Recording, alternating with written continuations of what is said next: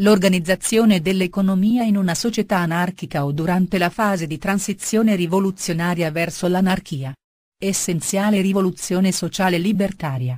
L'organizzazione dell'economia di base, orientamento e scopo libertario e il suo sviluppo e dispiegamento rendono indispensabile un cambiamento radicale del sistema capitalista e statale. Questo cambiamento implica necessariamente l'abolizione e il superamento di entrambi e la posa delle basi fondamentali della nuova economia e della società anarchica o del socialismo democratico in marcia verso di essa.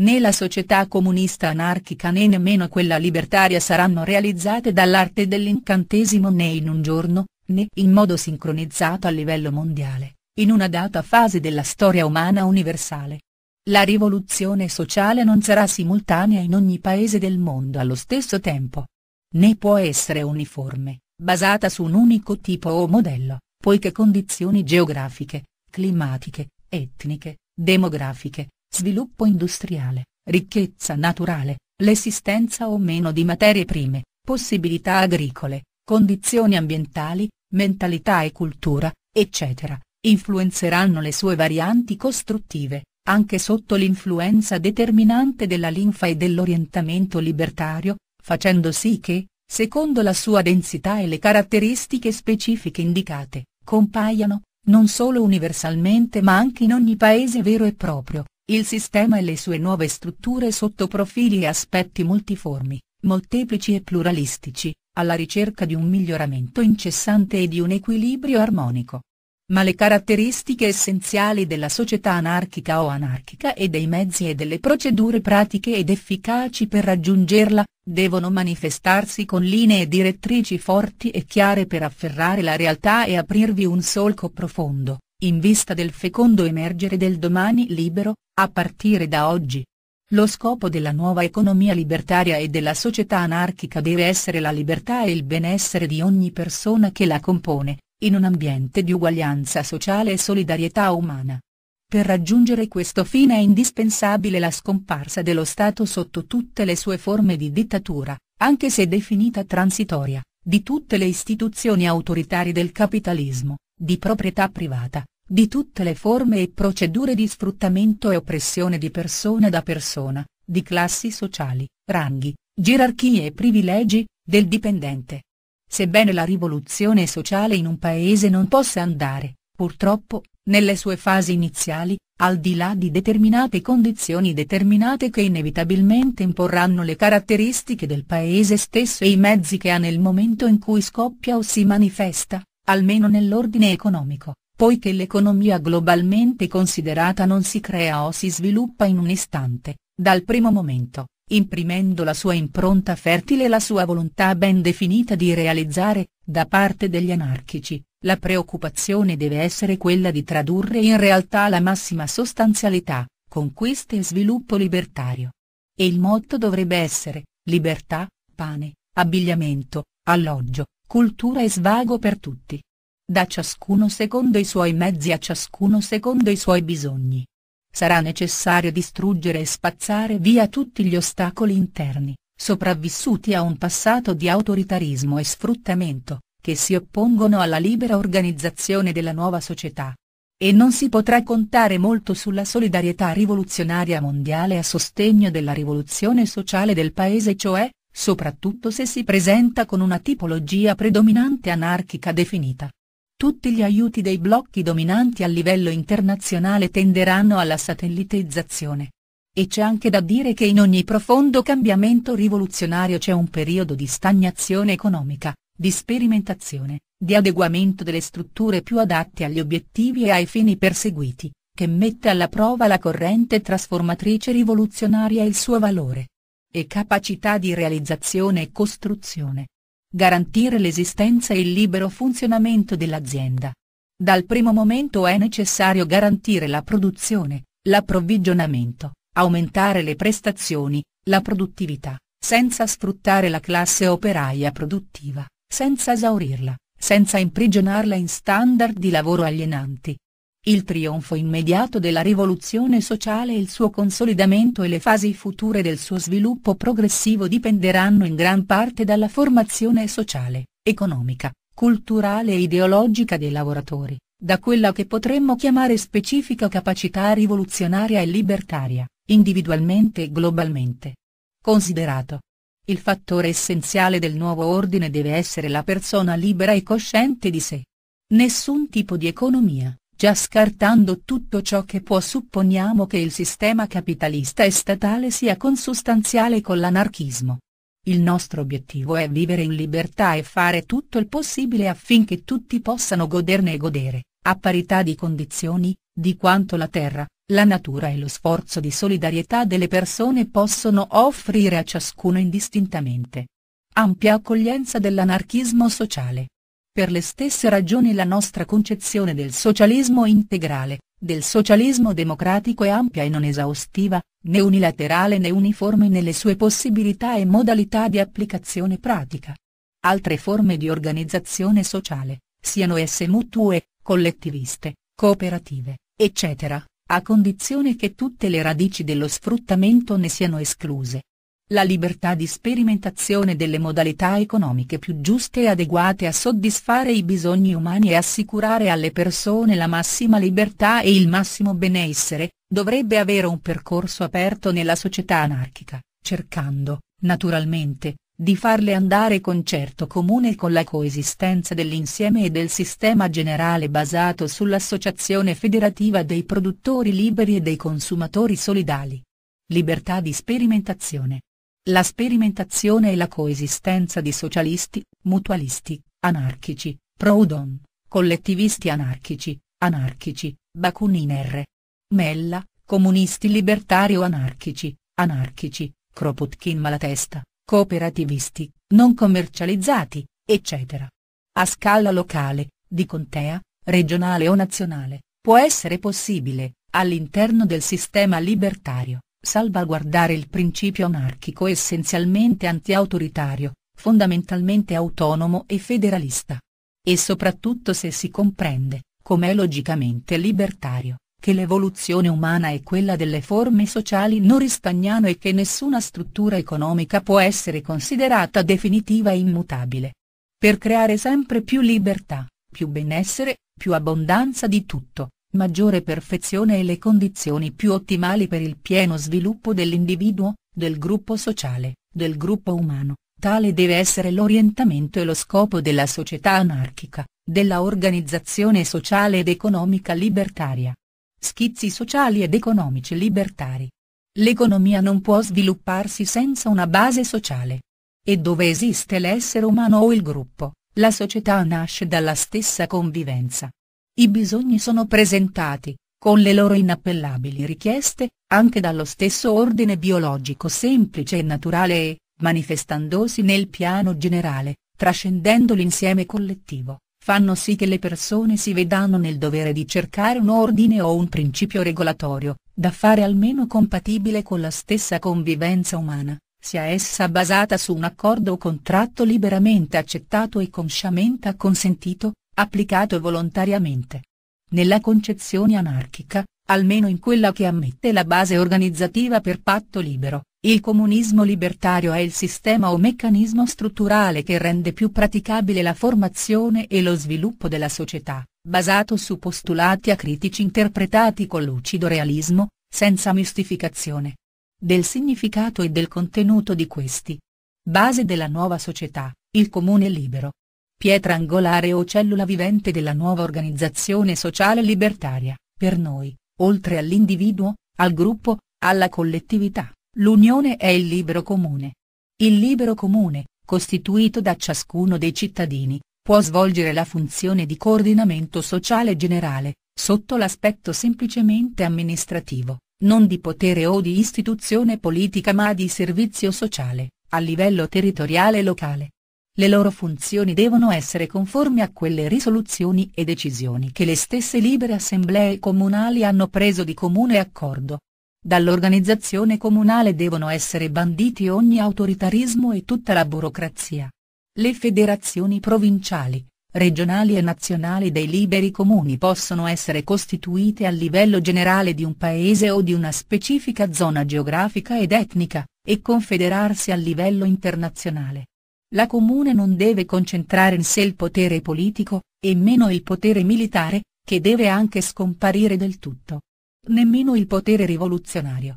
Ogni potere politico deve essere abolito e nessuno lo deve esercitare. Né dovrebbe esserci un proprietario economico nella comune, che fa del suo termine geografico e storico una riserva chiusa o un feudo. Ogni comune deve essere aperto alla solidarietà, praticarla e riceverla, in base al principio che tutta la ricchezza naturale o creata o fabbricata, tutti i prodotti, strumenti o beni materiali, sono patrimonio comune e rimangono a disposizione di tutti, il suo usufrutto essendo regolamentato dalle regole collettive stabilite liberamente e volontariamente. Del sindacato rivoluzionario e delle sue funzioni. L'organismo che meglio può garantire l'organizzazione del lavoro e la sua funzione nella società socialista socialista è il sindacato sindacale rivoluzionario, composto da lavoratori liberi dell'industria, dei campi, delle miniere, dei laboratori e dei centri. Ricerca e ricerca, quelle delle specialità tecniche. I sindacati, raggruppati per branca industria, nelle federazioni locali, provinciali, regionali, nazionali e internazionali. E gestendo direttamente, sotto il loro controllo responsabile, fabbriche e officine, campi, miniere, porti turistici, istituti scientifici e tecnologici, sono enti in grado di garantire la produzione di tutti gli articoli e le cose essenziali alla società e ai suoi componenti, secondo le esigenze che si facciano sentire e si presentino, perseguendo l'obiettivo di creare abbondanza con il contributo di ciascuno allo sforzo comune, secondo le proprie forze e capacità e senza lo sfruttamento di nessuno o di alcun privilegio. Tutte le risorse materiali, economiche e tecniche, i manufatti, i prodotti agricoli, zootecnici, della pesca, eccetera, devono essere valutate e messe a disposizione del comune, attraverso gli opportuni ed idonei enti, per la e la distribuzione più equa. Le federazioni dei sindacati possono essere formate da categorie di produzione, industriale, contadina, eccetera, o servizi pubblici, servizi postali, comunicazioni, trasporti e altri. La rivoluzione sociale, con la scomparsa della borghesia e delle strutture capitaliste e autoritarie, dovrà stabilire un nuovo ordine economico, che implicherà necessariamente altre modalità di lavoro, riadeguamenti manifatturieri, riconversioni professionali, diverse specialità di produzione. Nei sindacati di professione o industria devono avere potere politico o proprietà di fabbrica, macchinari o prodotti fabbricati. Non si deve permettere nemmeno al proprietario corporativista di mettere radici nella società anarchica, L'autogestione deve essere improntata ad assicurare la migliore e più razionale organizzazione del lavoro e della funzione produttiva, controllata da un alto senso di consapevole e volontaria responsabilità individuale e professionale. I comitati o commissioni di autogestione di fabbrica, azienda, officina o comunità produttrici saranno nominati direttamente dal personale in essi impiegato, soggetti a periodici rinnovi e revocabili.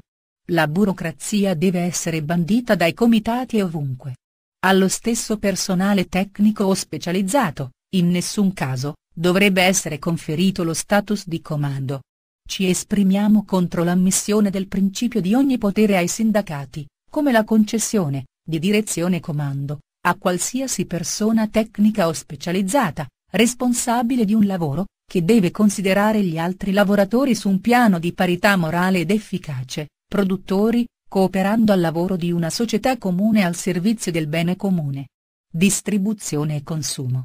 Lo scopo dell'organizzazione sociale che difendiamo e sosteniamo non dovrebbe essere il vantaggio o il profitto industriale o commerciale, manipolato o monopolizzato da qualsiasi gruppo, clan, entità o ente, ma il bene comune, all'interno della federazione o associazione dei comuni. Libero e solidale. D'altra parte, Comprendiamo che le forme economiche e i meccanismi della società anarchica non dovrebbero essere incorporati in una rigida armatura, in un regime monolitico e in strutture inamovibili. Nel rispetto del principio fondamentale di non sfruttamento, di comunità di ricchezza, beni, terreni, macchine e prodotti, tutto deve essere messo a disposizione e consumo e uso individuale e comune. E così la libertà, il pane, la cultura e l'indipendenza nell'unione e la solidarietà saranno meglio garantite e assicurate per tutti. La distribuzione generale coordinata e al dettaglio di prodotti agricoli e manifatturieri può essere assicurata da associazioni o federazioni di consumatori, basate su magazzini di approvvigionamento e fornitura all'ingrosso, dove i sindacati e le comunità di produzione possono fornire e depositare i prodotti, e attraverso cooperative di consumatori e negozi o centri qualificati per la distribuzione al dettaglio, esenti da ogni commercialismo organismi della rivoluzione, le collettività, i collettivi di produzione, e anche i gruppi misti di produzione e consumo, soprattutto in ambito agricolo, rurale e contadino, possono anche essere un fattore importante tra i mezzi idonei ed efficaci di insediamento e sviluppo della nuova economia, in quanto organismi vitali. Operando sul principio della libera cooperazione nella nuova economia solidale, senza commercialismo o concorrenza,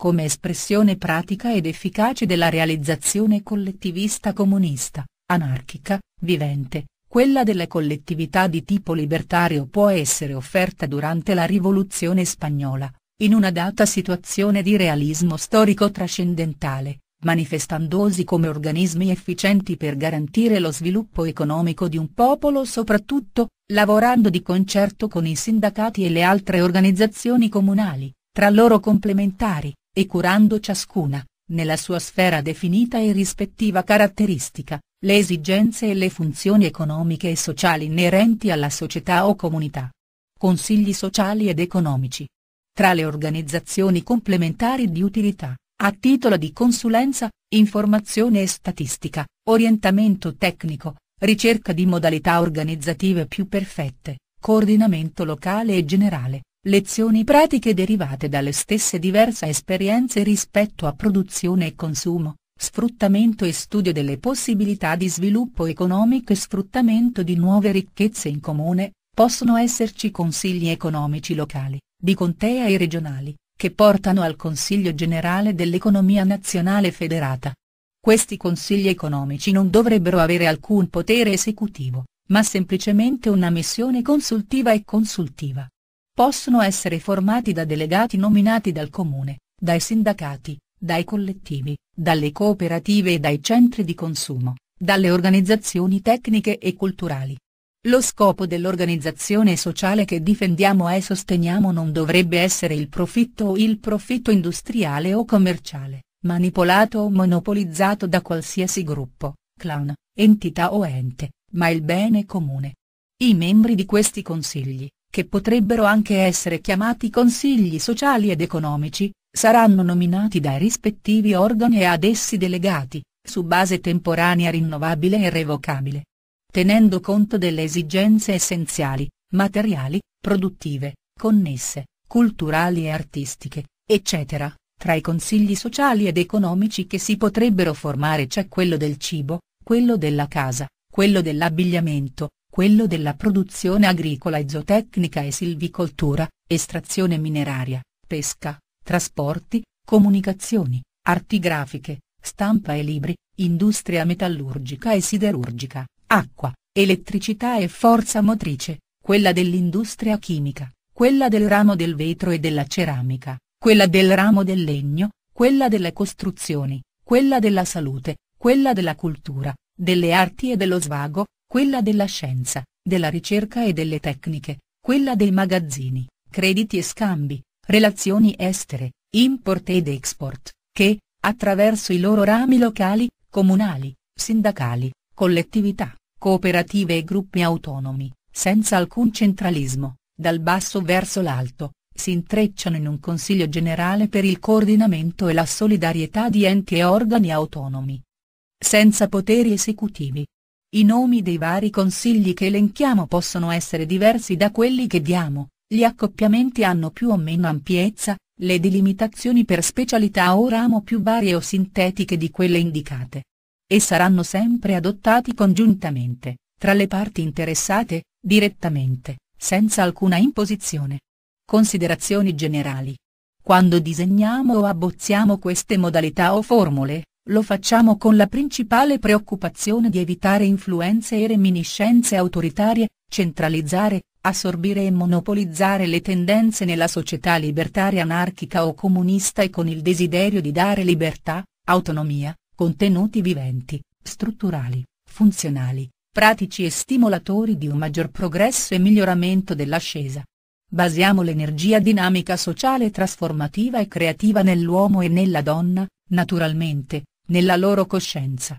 come essere integrale in se stessi, individualmente come unità autonoma volontariamente associata alla comunità nel suo insieme. Se, nelle fasi di trasformazione verso la piena realizzazione del comunismo, mentre lo sviluppo industriale e agricolo non ha raggiunto un grado sufficiente, per vari motivi, per creare sovrabbondanza e libera acquisizione individuale, senza accumulare o abusare di tutti i tipi di prodotti, si ritiene che una regolarizzazione della distribuzione e del consumo all'interno del sistema di socializzazione applicata, collettivismo o comunismo incipiente non fosse essenziale, dovrebbe essere la più razionale e giusta.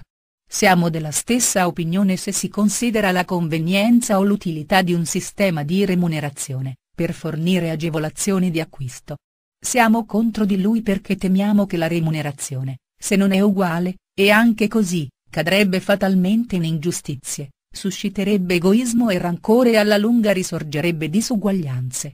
Anche l'esistenza del denaro, già molto controversa nella sociologia libertaria, non è consigliabile, a nostro avviso. E se viene stabilito un segno monetario, basato su obbligazioni o buoni, non deve essere centralizzato in un ente di tipo bancario, ma piuttosto, quando questi buoni o obbligazioni in valuta sono emessi dai comuni, internamente e in generale, devono possiedono un valore di acquisto e intercambiabile in tutti loro. L'accumulo di valori di segno monetario, in specie o prodotti, l'accumulo di qualsiasi natura, da parte di un comune, di una comunità o società potente, più importante o più prospera, di una regione più sviluppata, di allo stesso modo in cui la centralizzazione e il monopolio devono essere, evitati e combattuti. Se si rende necessario stabilire un piano economico generale, sarà necessario assicurarsi che le parti o unità contributive o la cui assistenza e risorse sono richieste o potrebbero essere interessate, non siano sacrificate e accettate in precedenza, perché se la volontà generale è imposta e manifesta con l'onnipotenza di un potere effettivo e indiscutibile si genererebbe il rischio di oppressione o ingiustizia e la ribellione emergerebbe come inevitabile reazione difensiva. La società deve essere come un organismo vivente in cui tutte le cellule o raggruppamenti di esse, tutti gli organi, svolgono la loro funzione, per garantire la vita e la salute, con la differenza che all'interno di quell'organismo sociale di persone si manifesta in modo autonomo, contribuendo con il proprio individualità per arricchirla e vitalizzarla e con la sua intelligenza, ragione e conoscenza, per darle coscienza, umanesimo, sviluppo armonioso, spinta creativa e ascendente.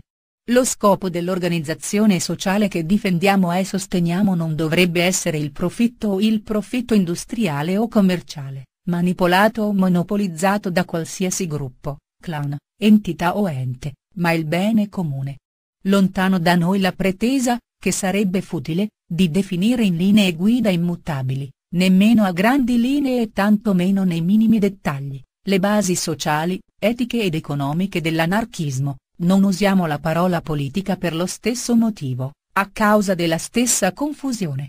a cui si presta, come si presta la democrazia. L'evoluzione della storia sappiamo che lungi dal seguire una linea ascendente continua, piuttosto la traccia ondulata ed è piena di contraddizioni, ed è attraverso di esse che nascono le nuove forme sociali ed economiche, e lo sviluppo della coscienza e della coscienza stessa. Etica umana, vengono superate e cedono il passo a nuove forme, strutture e consapevolezza dell'etica umana, vengono superate e cedono il passo a nuove forme, strutture e concezioni, che hanno anche esistenza effimera, in un perpetuo rinnovamento della vita sociale e dei suoi forme, dinamiche creative permanenti del nuovo, imprimendo la sua modulazione e la sua impronta nelle realtà di ogni tempo, in ogni città e nel mondo. È proprio la dialettica della vita che crea quei germi che danno impulso al progresso, passando per il cervello, la coscienza e la volontà di ogni persona e plasmando nelle forme nuove realtà effimere. Consapevoli di questo, come anarchici, lottando per tutti gli audaci realizzatori progressisti, mantenendo vivo e attivo lo spirito rivoluzionario, non poniamo ostacoli o limiti alla costruzione di un domani libero, in continuo processo di sviluppo e ci limitiamo a queste note attorno al tema la organizzazione dell'economia in una società anarchica o durante la fase di transizione rivoluzionaria verso l'anarchia, senza alcuna pretesa esaustiva e come contributo al pensiero e contenuto comune nei contributi alla dottrina libertaria, senza alcuna pretesa di originalità.